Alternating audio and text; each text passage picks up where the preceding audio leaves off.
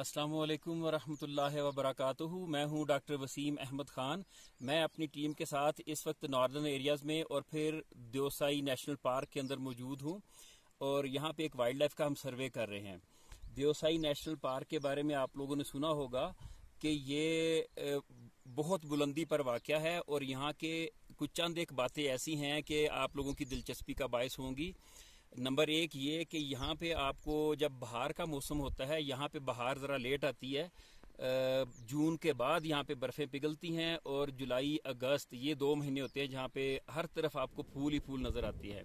ये एरिया जो है ट्री लाइन से ऊपर है। ट्री लाइन ऐसे इलाके को कहते हैं जहाँ पे दरख्त ना ग्यारह हज़ार फुट की बुलंदी से ऊपर का जो एरिया, उसके ऊपर दरख्त नहीं होते छोटी छोटी झाड़ियाँ या घास होती है, पास्चर्स होते हैं, चरागाहें होती हैं। तो ये ट्री लाइन से ऊपर है और यहाँ पे हमें हर तरफ़ मुख्तलिफ़ किस्मों के रंगों के फूल ही फूल नज़र आते हैं जब यहाँ बहार होती है। एक तो यहाँ पे देखने का जो बेहतरीन नज़ारा वो फूलों का है, फिर यहाँ पे ब्राउन बेयर आपको नज़र आता है और फिर golden marmot long tailed marmot है वो यहाँ पे नज़र आता है।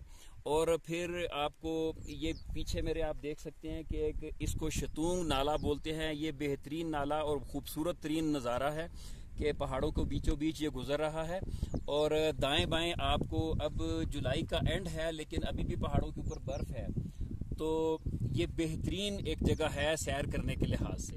दियोसाई की जो वजह तस्मिया है, मैंने जो मुकामी लोगों से सुनी है बातें, उसमें एक तो हमारे साथ जो ड्राइवर है, उससे मैंने पूछा चलते चलते कि इसकी क्या वजह तस्मिया है।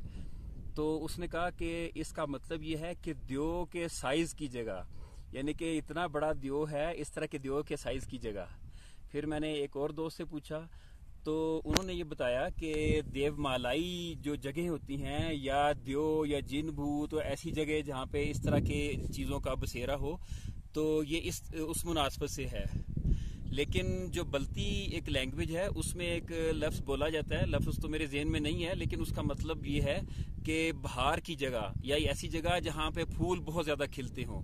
तो लॉजिकली ये इसके करीब करीब लगता है कि ये जगह ऐसी है कि जहाँ मुख्तलिफ़ किस्मों के फूल आपको बाहर में नज़र आते हैं।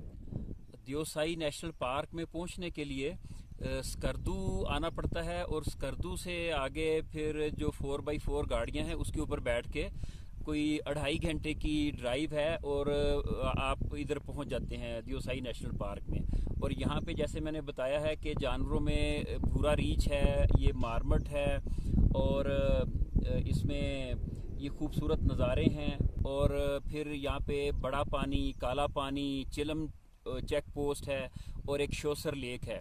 ये देखने से ताल्लुक़ रखती हैं जगह और सबसे बढ़कर यहाँ पे जो फूल हैं और कई मुख्तलिफ़ रंगों के फूल और अजीब नज़ारा होता है कि एक छोटा सा पैच चल रहा है, पर्पल कलर का, फिर पिंक आ गया, फिर वाइट आ गया, फिर येलो आ गया।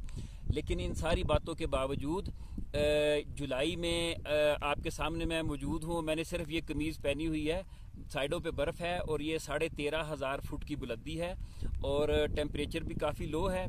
लेकिन जब भी यहाँ आना हो तो एहतियातन गर्म कपड़े, जैकेट गर्म टोपी ज़रूर साथ लेके आएँ कि अचानक मौसम तब्दील हो, बारिश का मौसम बन जाए तो बहुत सर्दी हो जाती है। इस चीज़ का ध्यान रखें और ये बहुत ही खूबसूरत जगह है, देखने लायक है।